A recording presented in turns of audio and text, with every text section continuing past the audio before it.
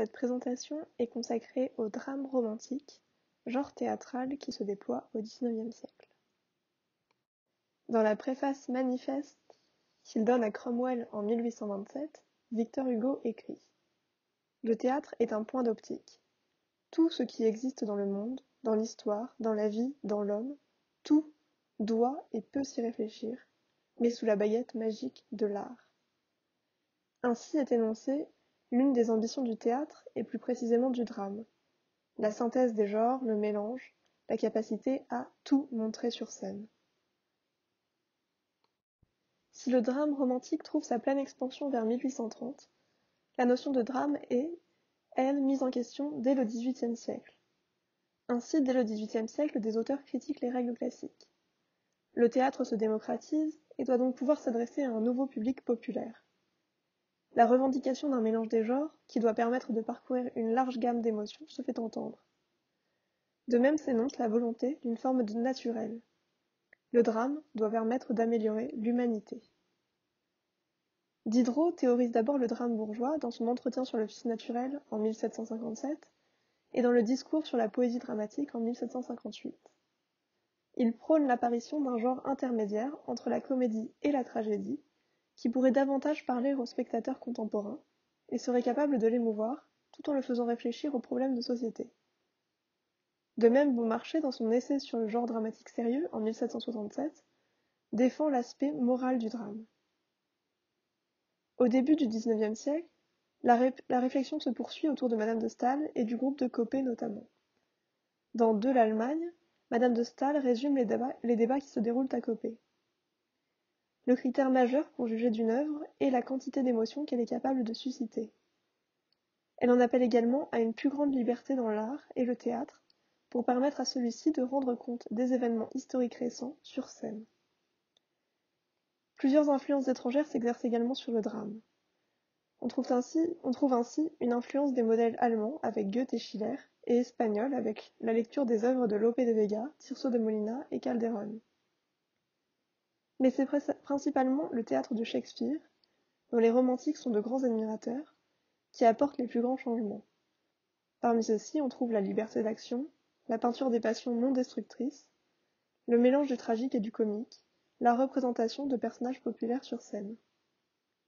Le théâtre de Shakespeare est introduit en France d'abord par Voltaire, mais ce sont les tournées des comédiens britanniques en France qui donnent un accès à la représentation shakespearienne en 1822 et 1827.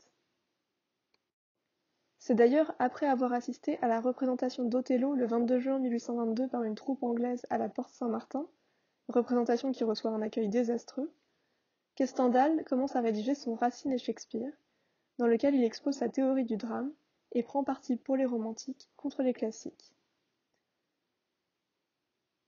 Les différents points sur lesquels euh, Stendhal s'exprime à propos du théâtre sont l'abandon des unités de temps et de lieu, l'abandon du vers au profit de la prose, ce en quoi il se différencie de Hugo. Il définit enfin le romantisme comme l'art de plaire au public. Je cite Le romanticisme, Stendhal parle de romanticisme plus que de romantisme, mais c'est la même chose, est l'art de présenter au peuple les œuvres littéraires qui, dans l'état actuel de leurs habitudes et de leurs croyances, sont susceptibles de leur donner le plus de plaisir possible. On voit ici qu'il rejoint un peu le critère de Madame de Staël. Le classicisme, au contraire, leur présente la littérature qui donnait le plus de plaisir à leurs arrière-grands-pères. Imiter aujourd'hui Sophocle et Euripide, et prétendre que ces imitations ne feront pas bailler le français du XIXe siècle, c'est du classicisme. On le voit donc, le romantisme se définit dans la réception. Il ajoute en outre que le romantisme appliqué au genre tragique, c'est une tragédie en prose qui dure plusieurs mois et se passe en divers lieux, illustrant ainsi sa volonté d'abandonner les unités de temps et de lieu. En 1827, Victor Hugo fait paraître Cromwell, drame réputé injouable en raison de sa longueur, 6900 vers, et du nombre d'acteurs qu'il requiert, environ une centaine. Il donne à ce drame une préface très célèbre dans laquelle il expose sa théorie du drame romantique, et dont vous pouvez trouver un extrait dans la brochure, il s'agit du texte 12. Après avoir distingué trois âges de l'humanité, les temps primitifs étant caractérisés par le lyrique, les temps antiques par l'épique et les temps modernes par le dramatique, il expose sa théorie que nous allons résumer ici. Victor Hugo énonce plusieurs refus. Le refus de l'imitation, le refus des unités de lieu et de temps trop contraignantes, et en appelle à un théâtre capable de donner une peinture totale de la réalité, et ce grâce à un mélange des genres. Hugo veut un théâtre capable de faire dialoguer le sublime et le grotesque, c'est-à-dire les aspirations les plus élevées et les plus triviales de l'homme, en quelque sorte un mélange du tragique et du comique, seul à même de représenter l'être humain et ses contradictions internes. Si la conception du drame de Victor Hugo en appelle à une remise en question des règles classiques, il choisit tout de même dans la majorité de ses pièces de conserver l'alexandrin, tout en en proposant un usage plus libre, je cite, Nous voudrions un vers libre, franc, loyal, osant tout dire sans pruderie, tout exprimer sans recherche, passant d'une naturelle allure de la comédie à la tragédie, du sublime au grotesque, sachant briser à propos et déplacer la césure pour déguiser sa monotonie d'alexandrin. Alfred de Vigny, dans sa lettre à Lord de 1829, expose lui aussi sa théorie du drame, laquelle s'articule autour de l'idée de vérité. Vérité psychologique d'abord, puisqu'il souhaite que les personnages peints aient un caractère et un langage propres, et ne soient pas donc des types. Vérité dans le style ensuite, ce qui se traduit par un langage adapté, il s'oppose ainsi à l'école polie qui use de périphrases compliquées. Je cite Je ne crois pas qu'un étranger puisse facilement arriver à comprendre à quel degré de faux étaient parvenus quelques versificateurs pour la scène, je ne veux pas dire poète. Pour vous en donner quelques exemples entre cent mille, quand on voulait dire espion, on disait comme Ducy C'est mortel dont l'État gage la vigilance. Pour Vigny, il faut que le langage soit simplifié, ou du moins plus adapté à ce qu'il compte dire, afin d'être compris par tous et de pouvoir toucher le public. Le drame romantique propose donc une nouvelle esthétique théâtrale qui rend avec le théâtre classique, en d'abord mélangeant les genres et les registres pour représenter le monde dans sa totalité, en abandonnant les unités de lieu et de temps, tout en conservant l'unité d'action. C'est un théâtre qui cesse d'imiter et promeut l'inspiration du génie romantique. Anne Hubersfeld donne une définition très large du drame qui dit bien l'aspect libre de ce genre. Je cite Peut être dit drame toute œuvre qui, sans considération de forme ou de code, d'effet pathétique ou comique, construit une histoire, une fable impliquant à la fois des destinées individuelles et un univers social. Elle ajoute également la caractéristique essentielle du drame et sa liberté. C'est en effet donc un théâtre de la liberté que proposent les romantiques. En outre, le drame romantique présente une dimension historique. Mais à la différence de la tragédie qui montre les conflits internes au pouvoir, la dimension historique est, dans le drame romantique, l'évocation du mouvement entier d'une société. L'histoire n'est plus seulement représentée comme faite par l'aristocratie, mais donne sa place à toutes les couches sociales. Il existe cependant, et il faut bien nuancer, une forte dimension individualiste dans le drame romantique qui a aussi ses personnages principaux. Le héros est important et agit souvent seul contre tous. Hugo, dans la préface à Marie Tudor en 1833, écrit S'il y avait un homme aujourd'hui qui pût réaliser le drame comme nous le comprenons, ce drame, plus loin, serait le passé ressuscité au profit du présent. Ce serait l'histoire que nos pères ont faite, confrontée avec l'histoire que nous faisons. On voit bien la dimension historique du drame romantique sert aussi à faire comprendre le présent à la lumière du passé.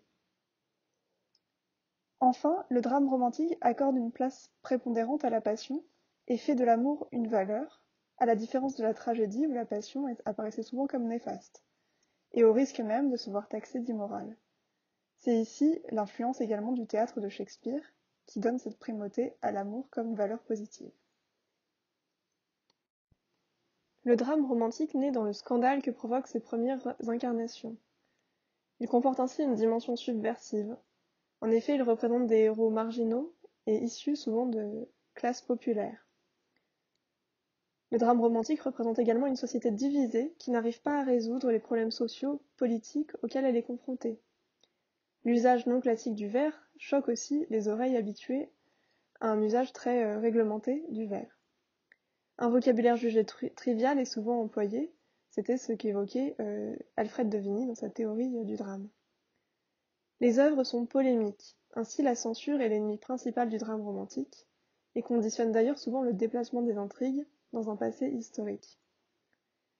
La première d'Hernani, le 25 février 1830, condense et exprime cette dimension subversive. Ainsi on voit s'opposer la jeunesse excentrique et, la vieillesse classique lors de cette représentation qui fait grand bruit et rapporte également beaucoup d'argent à la comédie française. Cette nouvelle esthétique théâtrale implique donc une nouvelle mise en scène. L'abandon de l'unité de lieu devrait, en théorie, entraîner la multiplication des changements de décors. Toutefois, le coût de ces décors vient limiter l'ambition des auteurs, et des compromis doivent être faits. La volonté de représenter la société dans sa totalité entraîne en revanche une multiplication du nombre de personnages et de figurants sur scène, et oblige donc à penser l'occupation du plateau de façon un peu différente. Enfin, la dimension historique et l'importance donnée à la couleur locale sont reflétées dans les costumes et les décors qui doivent être vraisemblables. Ainsi sur l'image, vous pouvez voir l'acteur Bocage dans le rôle de Buridan dans la tour de Nesle de Dumas, vêtu à la mode du XIVe siècle. L'un des enjeux pour le drame romantique est de s'imposer sur les scènes de théâtre. Le drame romantique tente d'abord de faire la conquête du théâtre subventionné, ce qui présente quelques difficultés puisque le budget des théâtres est voté par la Chambre, très libérale et attachée au théâtre classique. Les salles de la Comédie Française et de l'Odéon manquent donc de public et rapportent peu. Les administrateurs de ces salles voient rapidement l'intérêt du drame romantique qui attire un large public et présente donc un grand intérêt économique. Ainsi, c'est sous l'impulsion des administrateurs bah, de la Comédie Française comme le baron Taylor puis Joulin de la Salle que le théâtre français accueille les pièces de Hugo et de Vigny. Paris gagnant puisque Hernani, à partir du 25 février 1830, rapporte 5000 francs de recettes par soir. À l'Odéon, c'est Harel qui fait venir les romantiques Musset, Dumas et Vigny. Du côté du théâtre privé, la Porte Saint-Martin, où s'étaient déjà produits les acteurs anglais jouant Shakespeare, se présente comme un lieu d'accueil privilégié des pièces romantiques de Dumas et Hugo à partir de 1831. Cette nouvelle dramaturgie appelle donc des interprètes capables de jouer les subtilités du drame romantique, à la fois grotesque et sublime, en effet, certains acteurs classiques n'arrivent pas à se conformer à la diction du vers romantique, qui disloque parfois l'alexandrin, ou tombe tout, simplement dans la prose. Le drame romantique compte ainsi sur ses grands acteurs, parmi lesquels Marie Dorval, Bocage, Frédéric Lemaître. Victor Hugo est, comme Alexandre Dumas, un auteur prolifique et l'un des représentants du drame romantique. Ne pouvant pas citer ici toutes ses pièces, nous en évoquons quelques-unes qui sont emblématiques de la façon dont la production dramatique hugolienne a pu être reçue en son temps. Commençons donc par évoquer Cromwell, pièce de 1827 réputée injouable et donc non représentée, mais qui sert de manifeste au drame romantique. En 1830, nous l'avons déjà évoqué, est joué Hernani à la Comédie Française. La pièce suscite le scandale, mais remporte également un grand succès. En 1831, Marion Delorme est censurée pendant un an, puis suspendue pendant un an encore par son auteur, avant d'être enfin jouée à la Porte Saint-Martin. En 1832, Victor Hugo fait jouer le roi s'amuse à la Comédie Française. La pièce est un échec et est interdite après sa première représentation. En 1833, il fait jouer Lucrèce Borgia à la Porte Saint-Martin, pièce qui remporte un grand succès. Si l'on a tendance à restreindre le drame romantique aux années 1830, la création en 1843 des biographes montre bien la façon dont le genre réussit à s'installer dans le temps. En 1830, Harel invite Musset à faire représenter la nuit vénitienne à l'Odéon, donc dans un théâtre public et subventionné. Cette représentation est un échec, et Musset décide de ne plus écrire pour la scène. Il publie désormais ses pièces sous forme de recueil intitulé Un spectacle dans un fauteuil. On en connaît deux livraisons, en 1832 et en 1834. Ce format lui permet d'adopter une écriture plus libre, d'aborder une autre façon de construire l'espace, avec une multiplication des lieux et des actions, qui rend effectivement difficilement représentable sur scène euh, l'intrigue. Lorenzaccio en 1834 incarne cette esthétique dont vous pouvez lire un extrait euh, dans la brochure au texte 15. Alexandre Dumas est, comme Victor Hugo, un auteur prolifique, et nous ne pouvons citer ici qu'un infime échantillon de sa production théâtrale. L'auteur, qui n'admet pas toujours l'aspect collaboratif de certaines de ses pièces, écrit de nombreux drames romantiques. La critique souligne l'importance de la thématique de l'ambition sociale dans ces pièces qui le distingue des autres auteurs. S'il écrit beaucoup de drames historiques, comme Henri III et sa cour, La Tour de Nesle, Christine ou Stockholm, Fontainebleau et Rome, Alexandre Dumas élabore également le drame en habit noir, qui se situe dans un contexte contemporain, à la manière de sa pièce Anthony, créée à la Porte Saint-Martin en 1831 et qui constitue l'un des plus grands succès du drame romantique. Pour résumer donc, le drame est un genre qui apparaît au XVIIIe siècle et qui connaît son apogée romantique au XIXe. Le drame romantique ambitionne de s'affranchir des règles des contraintes, il se présente comme un théâtre de la liberté. Il a l'ambition de représenter la société entière sur scène et la volonté d'expliquer le présent à la lumière du passé.